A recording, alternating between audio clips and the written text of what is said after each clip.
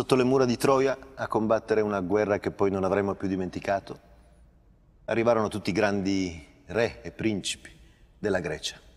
Sono nomi che conosciamo, sono eroi di cui ancora oggi noi tramandiamo le gesta. Solo uno è sprofondato nell'oblio e il suo nome, che ormai è ricordato da pochissimi, è sparito dalla memoria collettiva.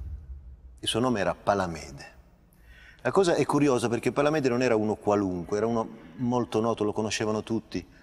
Era molto amato per il suo carattere, la sua virtù, la sua bellezza anche, era, era ricordato come uno dei più belli dell'esercito greco. Era anche immensamente ammirato per la sua intelligenza. Lui era riconosciuto come uno degli inventori, anzi l'inventore di un sacco di piccole e grandi cose che avevano cambiato la storia della Grecia. Era oltretutto un uomo di potere vero e proprio, era uno dei tre comandanti dell'armata di terra dei greci. Gli altri due, per dire, erano Odisseo e Aiace, nomi che noi conosciamo benissimo, nomi di grandi eroi. Ma il terzo, Palamede, perché lui non lo conosciamo? Perché il suo nome no? Una risposta noi l'abbiamo, è semplice, molto chiara. Omero non parlò mai di lui. Non c'è un solo verso dell'Iliade o dell'Odissea che citi il nome di Palamede. La domanda allora diventa un'altra, anche più affascinante. Com'è possibile che quella splendida storia che ci ha raccontato la guerra di Troia si sia presa la briga di nascondere e cancellare un eroe fra i tanti, uno solo, e proprio lui, Palamede. Non è che ci siano delle ragioni apparenti, non, non si riesce a trovare una logica, sembra un enigma e lo è in un certo senso. Per scioglierlo quello che possiamo fare è ricorrere alle altre storie che noi abbiamo della guerra di Troia. Ce n'erano molte. In un certo senso sono storie che stanno alla guerra di Troia come, come i Vangeli apocrifi stanno alla vita di Cristo. Sono storie che poi una certa ufficialità ha deciso di escludere, di cancellare, di non ritenere sufficientemente autorevoli. Forse contenevano delle falsità, ma è anche possibile che contenessero invece delle verità e delle verità scomode o impronunciabili. Noi le conosciamo quelle storie, è una cosa molto chiara, che quelle storie Palamede se lo ricordavano molto bene. Non solo, ma pensavano che solo conoscendo la, la vicenda di Palamede uno potesse capire cos'era successo veramente sotto le mura di Troia. Sono storie che vengono da molto lontane, poi spesso scomparse, rimbalzate nel tempo, nei secoli, riprese, tornate in superficie, citati da altri, tempo, tempo dopo. I loro autori non sono spesso famosi. Eh, per dire uno dei resoconti su cui noi ci possiamo basare, l'ha scritto un cosiddetto Ditti Cretese, un signor Ditti di Creta che sosteneva di aver combattuto la guerra di Troia e quindi la raccontava. Probabilmente era una menzogna, facilmente era una patacca scritta, scritta tempo dopo, ma, ma, ma le patacche sono importanti e, e sono dei grandi contenitori in cui si vanno a rovesciare tutti i rumors, le voci, le storie che la gente si era passata comunque per molto tempo di bocca in bocca e che non erano le storie ufficiali ma che la, la gente non voleva dimenticare. Di Ticretese 1 ce n'era un altro che era Frigio, Darete si chiamava, un altro che ha raccontato la storia della guerra di Troia, immensamente meno noti di Omero. Altri un nome ce l'avevano, mm, Pausania, Filostrato, Apollodoro, sono, sono, autori a cui noi dobbiamo molte schegge della storia greca. Un, eh, un sofista, grandissimo sofista, filosofo, uno degli inventori della retorica, si chiamava Gorgia, Gorgia d'Alentini. Lui addirittura si spinse a scrivere un discorso di Palamede, un discorso che Palamede avrebbe tenuto in pubblico in sua difesa. Non solo la memoria del, dell'eroe, ma la sua voce, no? ricostruita. E poi Platone in alcune pagine, un verso di Virgilio anche lì è ricordato Palamede, delle citazioni di Cicerone. Come vedete storie che, che vengono da lontano, hanno fatto anche una strada misteriosa, spesso sono scomparse per secoli, poi ricompaiono nella citazione di uno molto tempo dopo, ma, ma, non hanno mai smesso di raccontare questa storia, la storia di Palamede, una storia che invece una certa elite intellettuale aveva deciso per qualche ragione di cancellare, di spegnere di nascondere. Questa è la storia che questa sera racconteremo qui in un teatro e quindi nei modi del teatro. Lo facciamo perché è bello, lo facciamo per il piacere di sottrarre quel personaggio e la sua storia dall'oblio.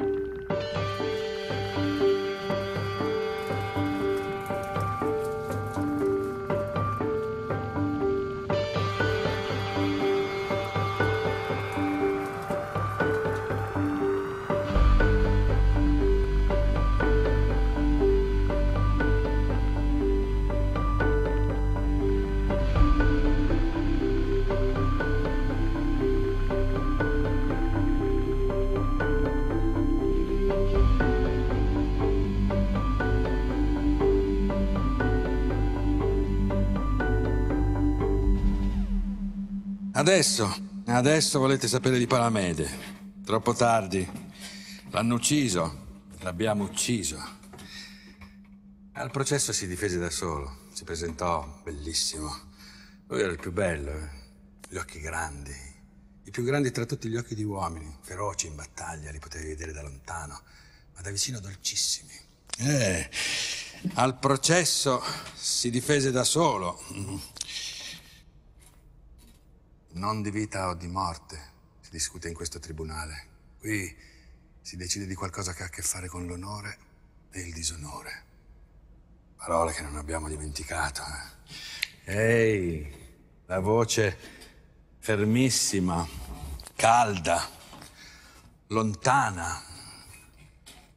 Tradirvi. Voglio dimostrarvi che se avessi voluto farlo non avrei potuto. E se avessi potuto non avrei voluto. L'abbiamo ucciso lapidandolo. Non è una bella morte. Si faceva fatica a riconoscerlo dopo. Il corpo nudo che era stato elegante, ammirato, perfetto. E adesso volete sapere chi era Palamede? Eh, io ve lo dico. Un genio. Sì. Fu l'unico tra gli eroi ad andare alla guerra da solo, senza portare soldati, mani vuote, senza offrire neanche una nave, no? Volete sapere perché? E portava in dono se stesso, questo bastava. Il suo cervello. Ehi, Arista. Arista, eh, apri, apri. Lista delle invenzioni che Palamede, figlio di Nauplio, discendente di Poseidone, donò alla Grecia perché grande fosse la sua ricchezza e immenso il suo potere e imperitura la sua gloria. Più. Mm. Ogni macchina da guerra che il cervello umano possa immaginare. Fortificazione nei porti, palizzate, i fuochi per comunicare dalla punta delle colline, l'arte di deviare i fiumi e ridisegnare la terra, l'organizzazione dell'esercito, il trucco della parola d'ordine, la disciplina delle sentinelle e persino il gioco degli scacchi che allontana dai soldati la noia, la nostalgia, la paura, ma anche le regole per mangiare bene, per bere senza perdere la coscienza, per guarire le malattie, per allontanare le epidemie. E i pesi per regolare i commerci e le misure per misurare il mondo e le stagioni, mesi e gli anni per contare il tempo. Di tutto questo fece dono Palamede, figlio di Nauplio, alla Grecia e tuttavia neanche una di queste invenzioni può valere il dono più grande che lui seppe fare a noi, ai nostri figli, ai figli dei nostri figli, il frutto più raro della sua intelligenza, l'arma che avevamo perso e che non potremo più perdere, la più affilata delle lame, lo scudo più grande, la nave più veloce, la divinità più potente, l'unica ricchezza, la forza più impalpabile e definitiva. Questi segni che sembrano orme, le leggi per metterle insieme i suoni, per farle suonare. Ah, abbiamo mandato a morte un uomo che per noi aveva inventato la scrittura. Eravamo ciechi e sordi. Lui aveva dato un nome a tutto e noi lo abbiamo ucciso a colpi di pietre. Ah, ne rimase lì ad aspettare il supplizio senza lamentarsi, senza implorare. Disse soltanto a bassa voce, ho pietà di te, verità. Tu sei morta prima di me. L'accusa era di tradimento, la peggiore, lì. E avevano trovato dell'oro nella tenda, una cosa del genere, forse un messaggio.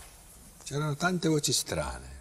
Si diceva che fosse d'accordo con i troiani, addirittura che stesse preparando una sommossa per rovesciare Agamennone. Ma.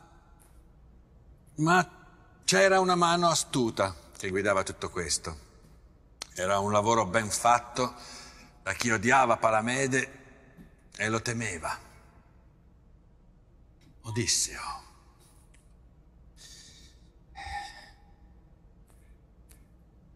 Lista, lista, del, eh, lista, delle invenzioni che Odisseo, figlio di Laerte, protetto di Atena, donò alla Grecia perché grande fosse la sua ricchezza, eccetera, eccetera, eccetera.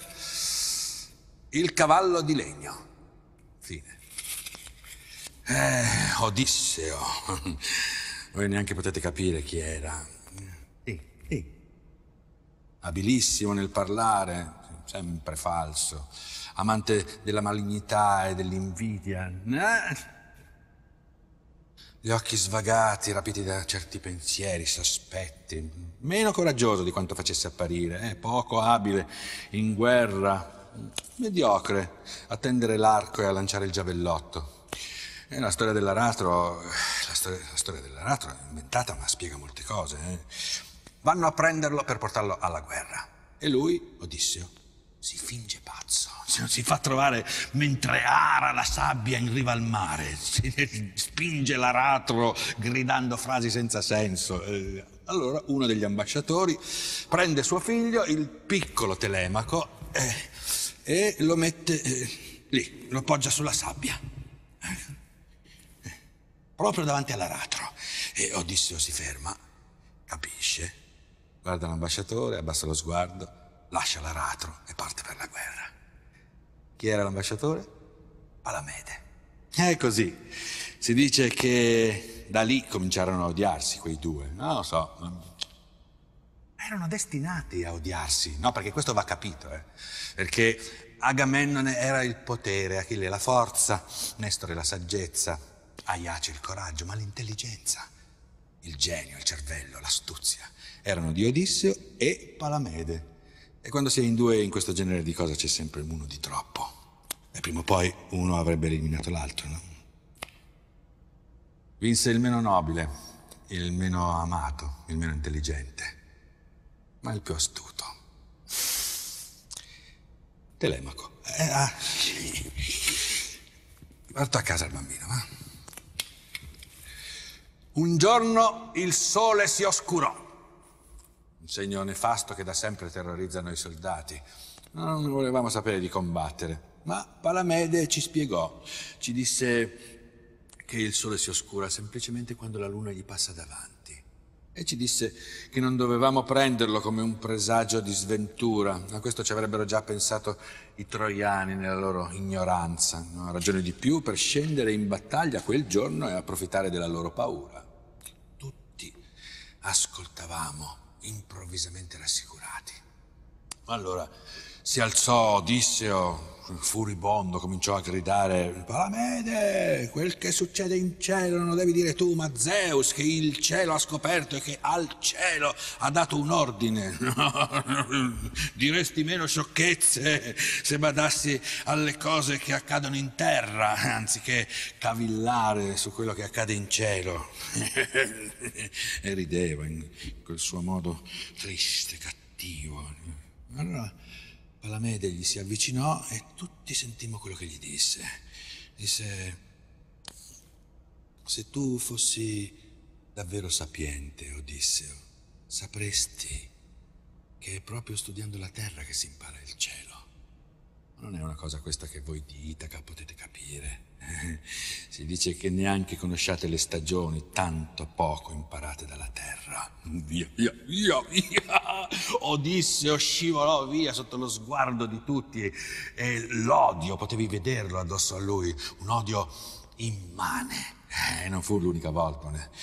Quei due si scontravano sotto gli occhi di tutti e Odisseo eh, usciva quasi sempre umiliato. Sì, tante volte, eh? neanche me le ricordo, tante. Quella dei lupi, certo. Quando i lupi scesero dalla montagna come un flagello del Dio. No, non è un flagello, disse Palamede, è un dono del Dio. Ma che dono è dono, se la rideva Odisseo, e si affrettò ad armare degli uomini perché andassero ad ucciderli. No, non uccideteli, sono un dono, ripeteva Palamede.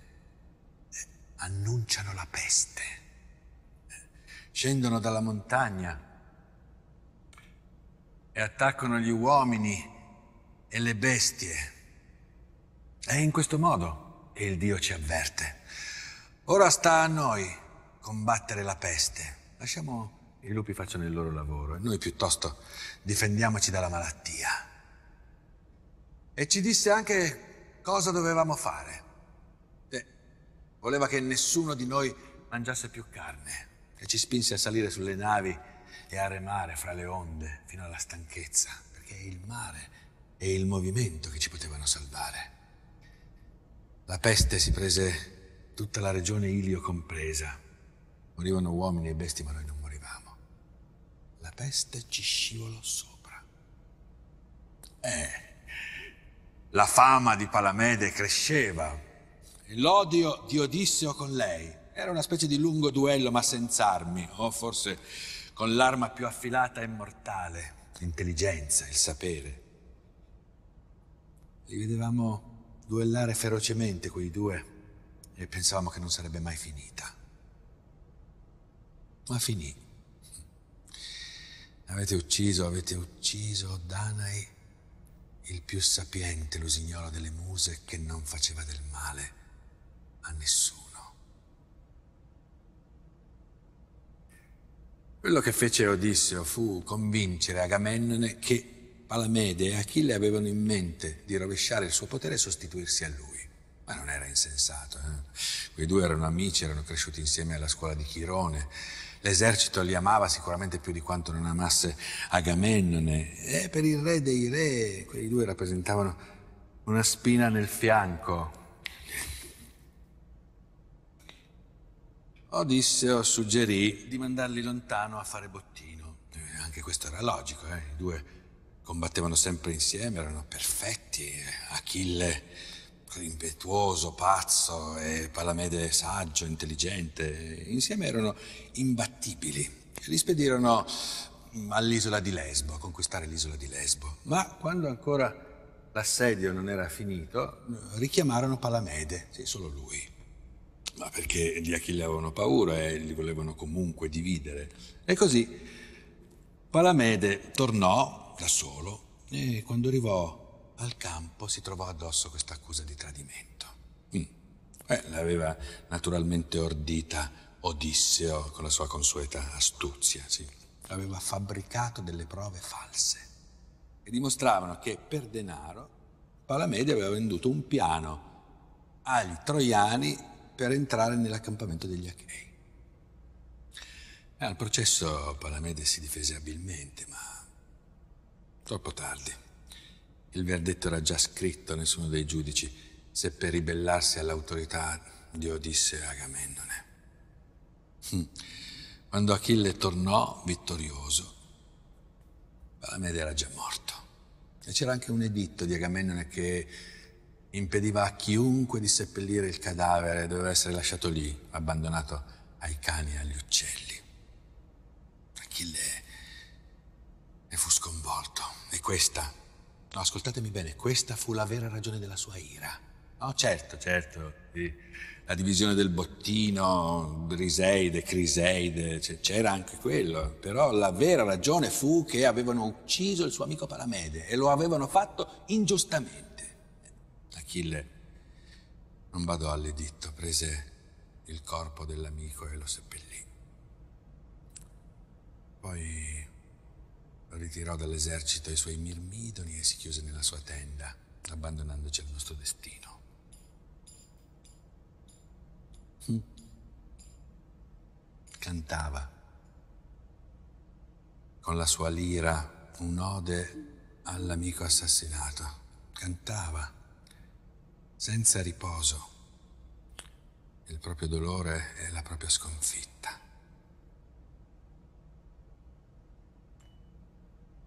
Adesso,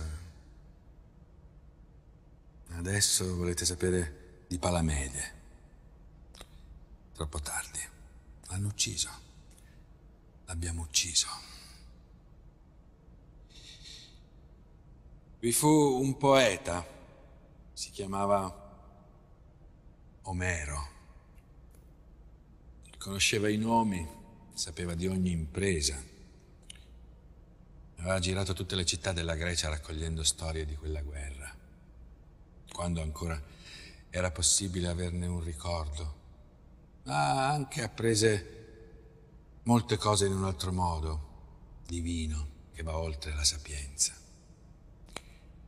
E si dice che un giorno si imbarcò per Itaca e aveva udito che lì dimorava ancora l'anima di Odisseo senza riposo. Quando giunse laggiù, la evocò dal regno dei morti e Odisseo ritornò in terra. Allora il poeta gli chiese di raccontare quello che aveva visto sotto le mura di Troia. E lui diede una risposta in cui non è difficile riconoscerlo. Disse, promettimi che nel tuo poema celebrerai il mio valore, io ti racconterò tutto. E il poeta glielo promise e lui cominciò a parlare. E tutto disse secondo verità, perché le anime non possono mentire.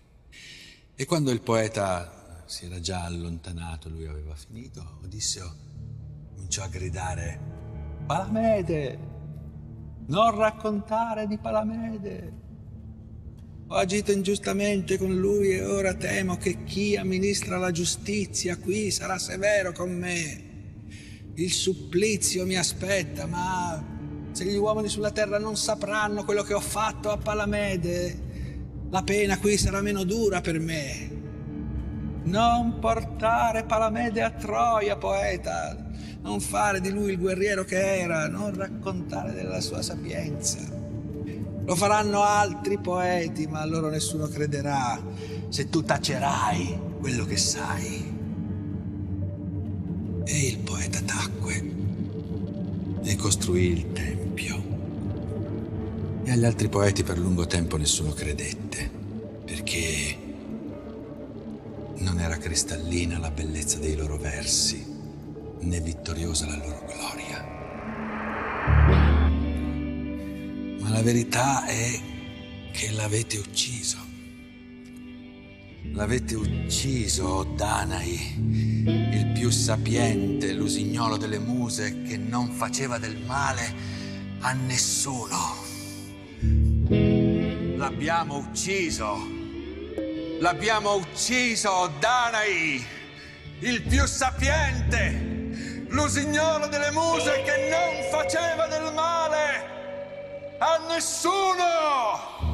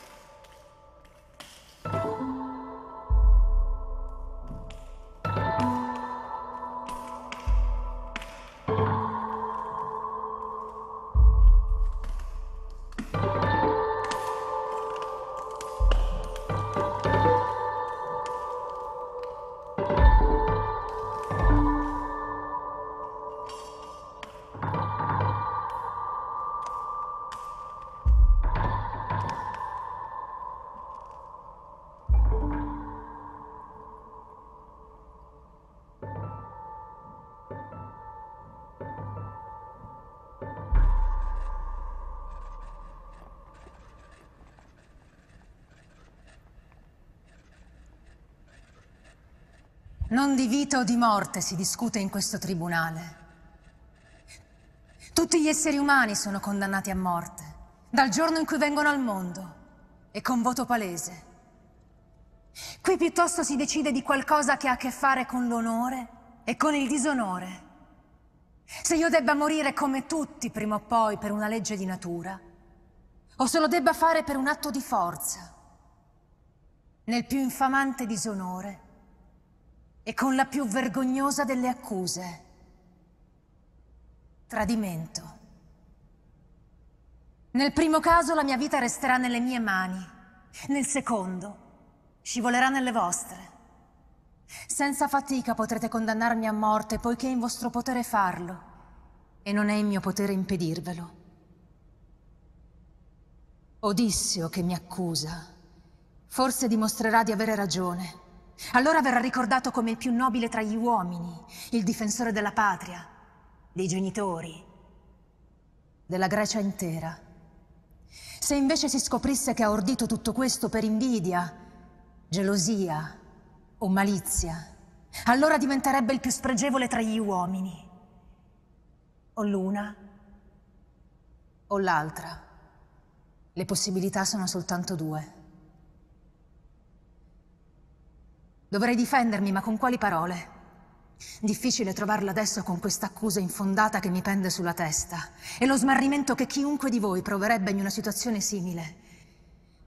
E tuttavia Devo sforzarmi di cercare la verità, per quanto questo possa essere rischioso o inutile. E allora, mi è chiaro che non è chiara l'accusa, già che con tutta la chiarezza possibile so di non aver commesso alcun gesto infamante. Tradirvi? Voglio dimostrarvi che se avessi voluto farlo, non avrei potuto. E se avessi potuto, non avrei voluto. Mi era impossibile. Questa è la prima cosa di cui voglio convincervi. Ogni tradimento ha un inizio. Questo tradimento non sarebbe potuto iniziare che in un colloquio. Ci saremmo dovuti parlare. E per parlarci ci saremmo dovuti vedere. Incontrare. Ma se vuoi incontrare una persona, gli devi prima mandare un messaggio. E non una lettera è stata trovata, non un messaggio, non una riga. Nulla. Ammettiamo che l'incontro sia davvero avvenuto. Mi trovo lì e qualcuno è con me. Un greco, io. Un barbaro, lui. Parlandosi come? Riusciremo mai a capirci? Ci vorrebbe un terzo uomo che traduce, ma un terzo uomo sarebbe un testimone e in casi come questo un testimone potrebbe essere scomodo. Ammettiamo che le cose siano andate così, anche se non sono andate così. Dopo un colloquio del genere ci saremmo dovuti scambiare una garanzia, una prova del fatto che ci saremmo fidati, io di lui, lui di me. Ma quale garanzia ci saremmo potuti scambiare? Un giuramento? Ma cosa vale il giuramento di un traditore? Allora ci saremmo potuti scambiare degli ostaggi, come si è soliti fare. Io avrei potuto offrire a mio fratello, non ho altri, lui uno dei suoi figli. Ma pensateci, come sarebbe stato possibile poi tenere nascosto a voi tutto questo? Qualcuno allora dirà per garanzia si saranno scambiati del denaro, lui avrà pagato me. Sì, ma quanto? Quanto denaro? Poco? Non è logico ricevere poco denaro per grandi favori. Quindi molto, molto denaro. E come avrebbero potuto consegnarmelo? Portato da un solo uomo? Difficile. Quindi da molti uomini, ma molti uomini significa molti testimoni. Rischioso. Pure. Ammettiamo che in qualche modo mi consegnarono quel denaro. Quando? Di notte? Troppe sentinelle da cui è impossibile nascondersi. Alla luce del giorno, la luce è nemica di azioni del genere e in ogni caso, ammesso che fosse possibile prenderli senza essere visto quei soldi, come avrei potuto poi nasconderli, custodirli tenerli al sicuro. Se ne sarebbero accorti tutti prima o poi, prima quelli più vicini a me, poi gli altri. Se li avessi spesi chiunque avrebbe capito il mio tradimento. Se li avessi tenuti nascosti, senza usarli. Che cosa ci avrei guadagnato dal mio tradimento? Pure, ammettiamo che le cose siano andate così. Ci si incontra, si parla, si ascolta, prendo il denaro dai barbari, lo prendo di nascosto e poi lo tengo nascosto. A quel punto, mi sarei trovato costretto a fare in qualche modo ciò che mi ero impegnato a fare. E qui davvero tutto diventa poco credibile. Da solo non ce l'avrei mai fatta, era chiaro che mi sarei dovuto far aiutare da qualcuno. Sì, ma da chi esattamente? Dei complici, d'accordo, ma di che tipo? Potevano essere soltanto uomini liberi o schiavi. Gli uomini liberi siete voi e allora vi ascolto. Qualcuno di voi è stato mio complice, questo è il momento di dirlo. Allora erano degli schiavi.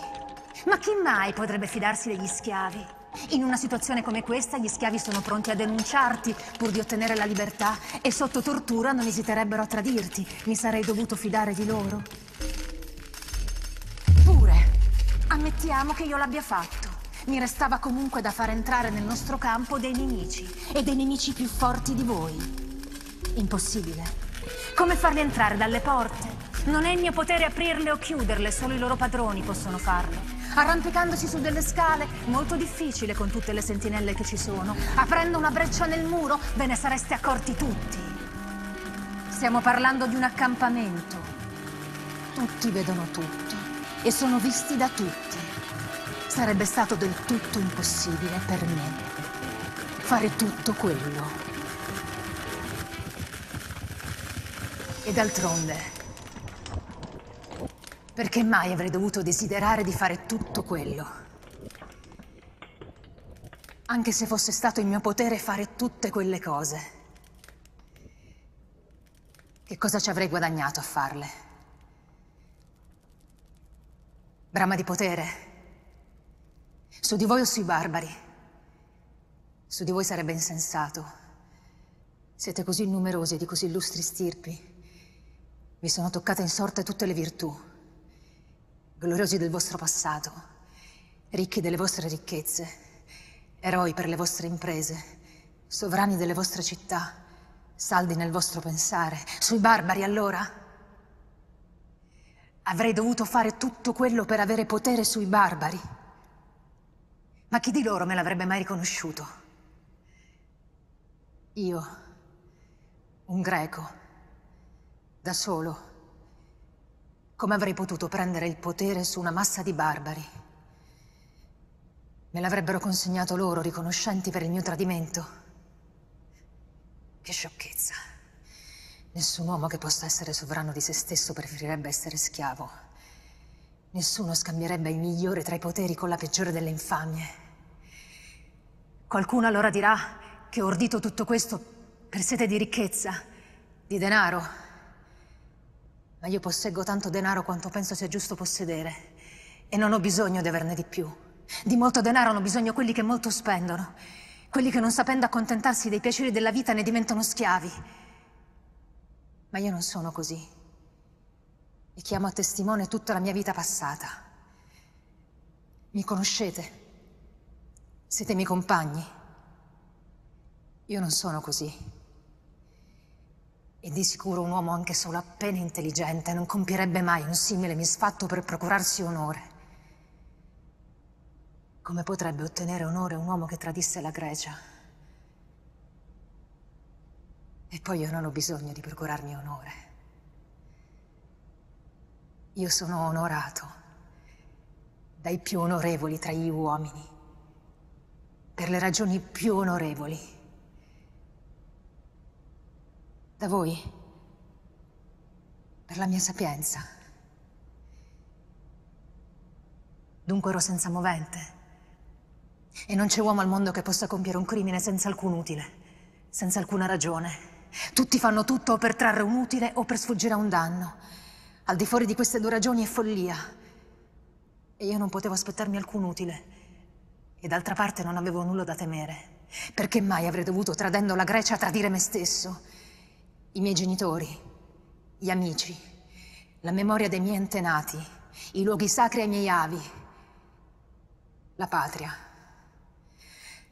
Pensate a come la mia vita sarebbe diventata invivibile se con successo avessi commesso il crimine di cui mi accusate. Dove sarei potuto andare? In Grecia? Ed essere punito da chi avevo tradito, che mi avrebbe risparmiato. Forse allora sarei dovuto restare tra i barbari rinnegando i valori più sacri, privato dell'onore più alto, trascinandomi nell'ignominia, buttando via tutto quello che avevo guadagnato in nome della virtù e tutto questo a causa di qualcosa che io stesso avevo compiuto. E non c'è infelicità maggiore per l'uomo di quella che deriva da lui stesso. Lo vedete? Tradire la Grecia era per me impossibile. Voler tradire la Grecia. Insensato.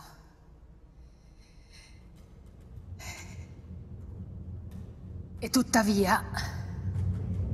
Odisseo mi accusa.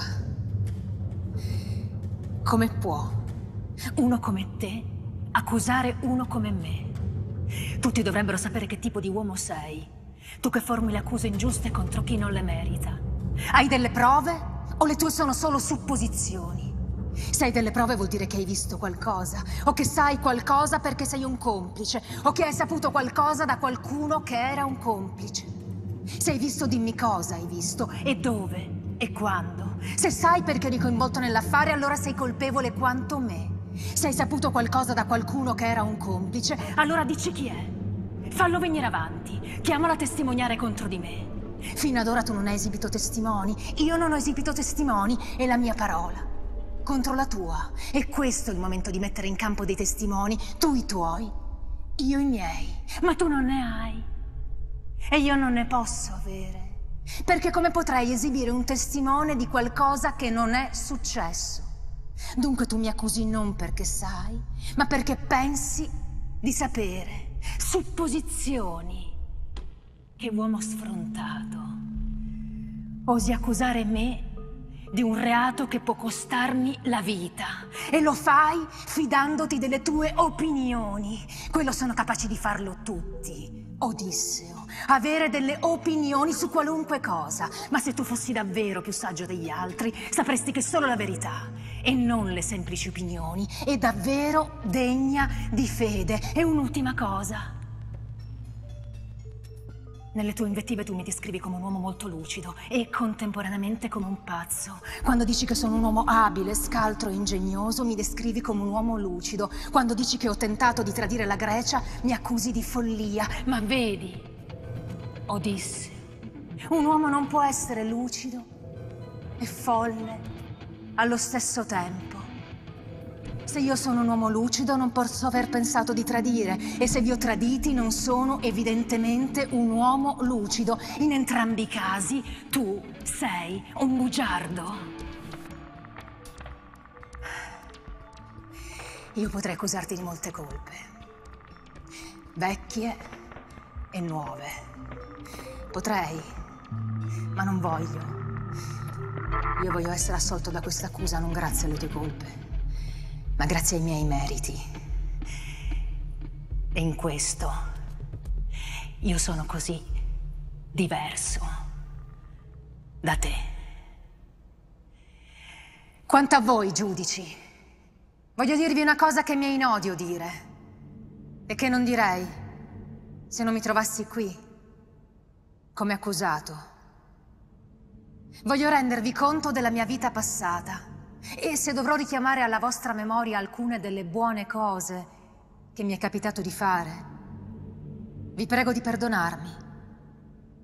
La prima e principale buona cosa che ho fatto è che in tutta la mia vita, dal principio alla fine, ho vissuto senza colpe.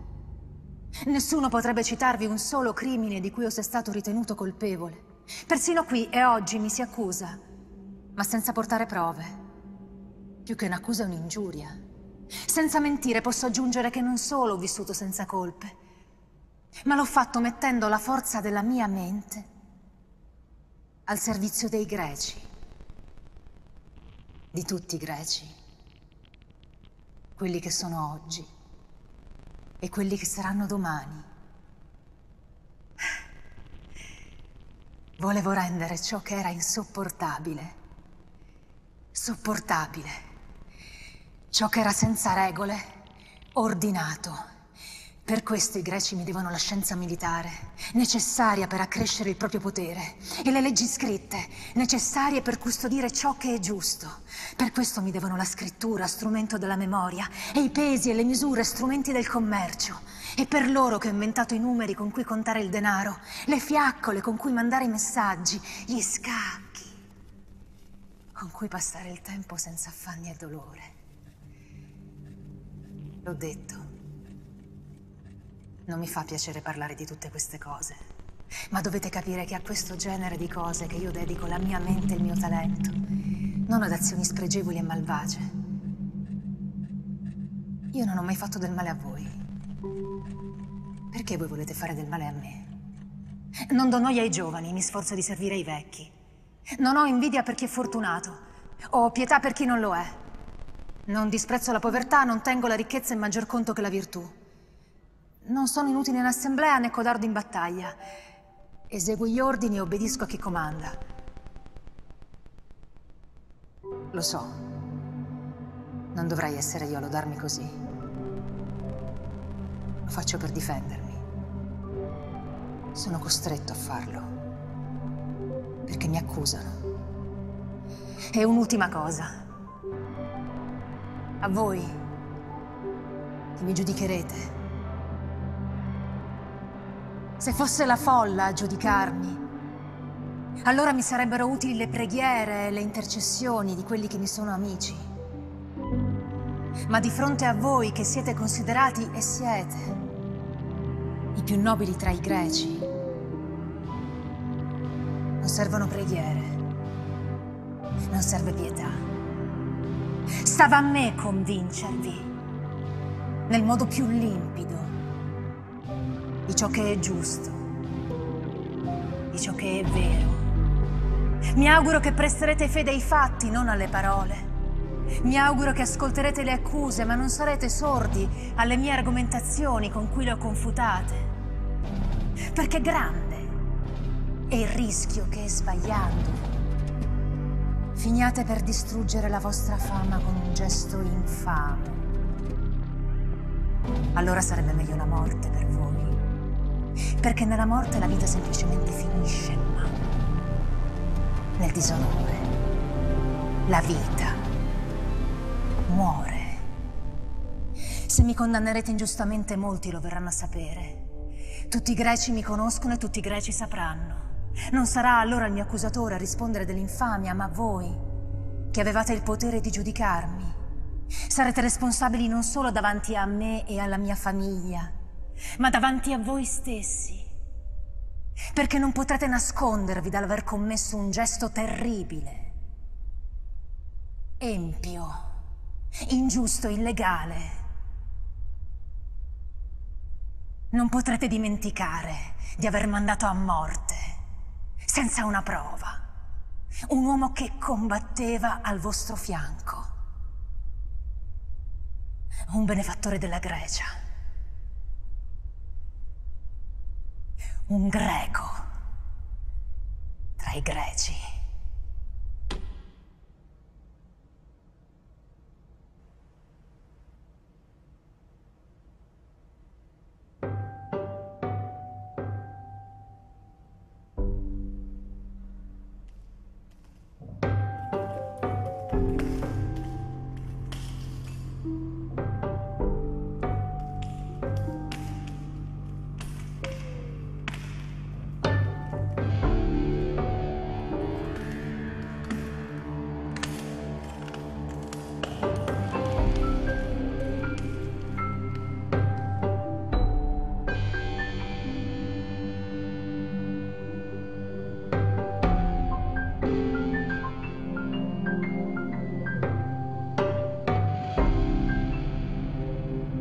Tuttavia lo uccisero.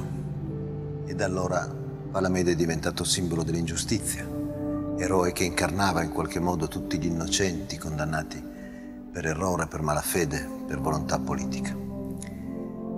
E tuttavia questa storia riascoltata da lontano, a distanza di secoli, sembra raccontare qualcosa di più ancora.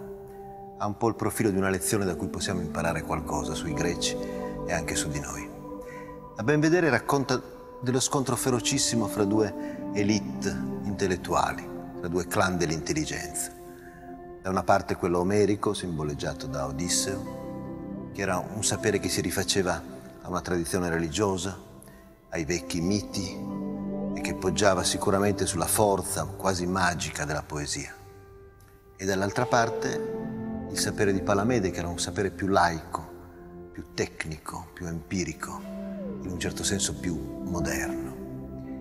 Non bisogna dimenticare che Palamede era ricordato come l'inventore della scrittura e la cultura omerica veniva invece proprio da un contesto di pura oralità, un popolo che non disponeva di scrittura.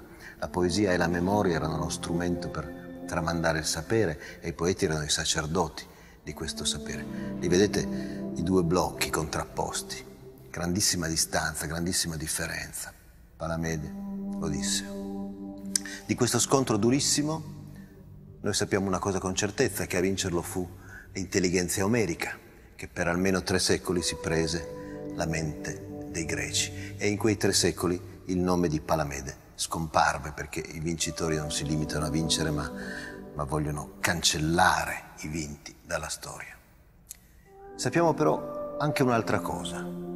Ci fu un momento in cui anche il modello omerico entrò in crisi a cavallo fra il V e il IV secolo sotto la pressione di nuovi saperi, di nuovi eroi del sapere.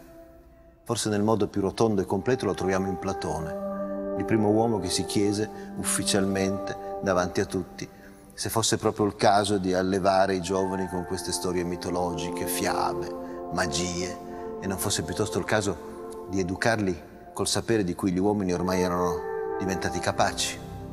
Basta con queste storie, con queste fiabette. Insegniamo ai giovani i nomi delle cose, ora che li conosciamo. Ed è in quel periodo che il nome di Palamede, guarda caso, rispunta in superficie. Una cosa che noi sappiamo è che, ad esempio, i tre grandi tragici greci, Eschilo, Sofocle ed Euripide, dedicarono ciascuno di loro una tragedia a Palamede, intitolata proprio Palamede. E benché siano perse, le abbiamo perse, non le conosciamo, sappiamo con certezza che erano tre tragedie in difesa di Palamede.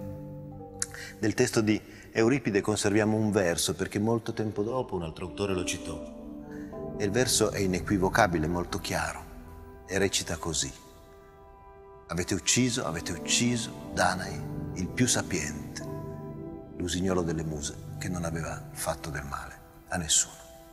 Dunque una guerra vinta in un primo momento dalla cultura omerica, ma che non finì lì e andò avanti per tanto tempo.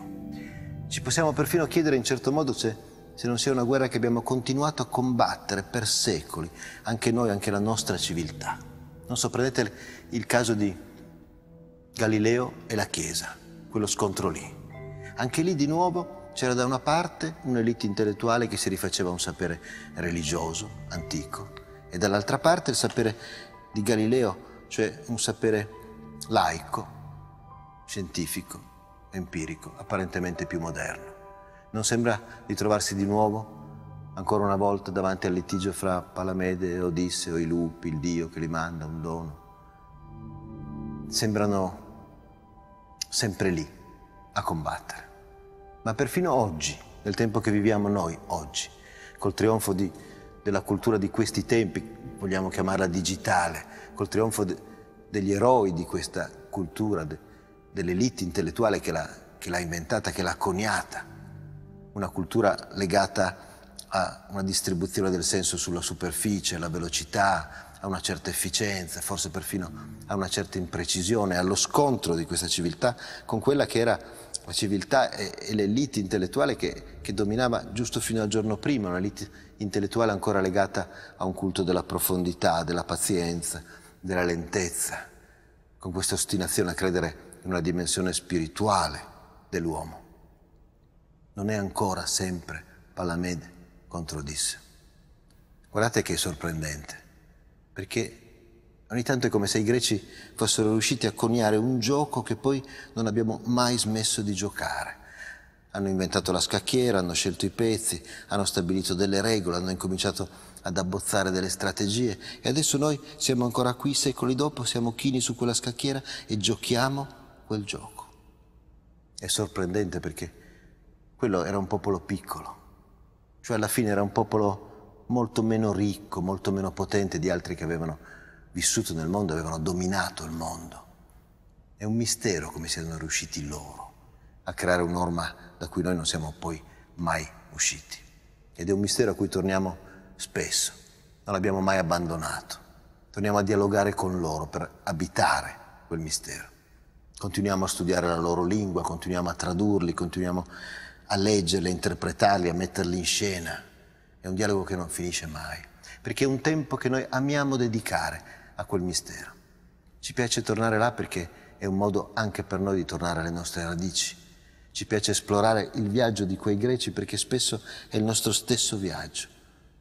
Ci piace meravigliarci davanti al loro mistero perché sempre e ancora una volta il nostro mistero.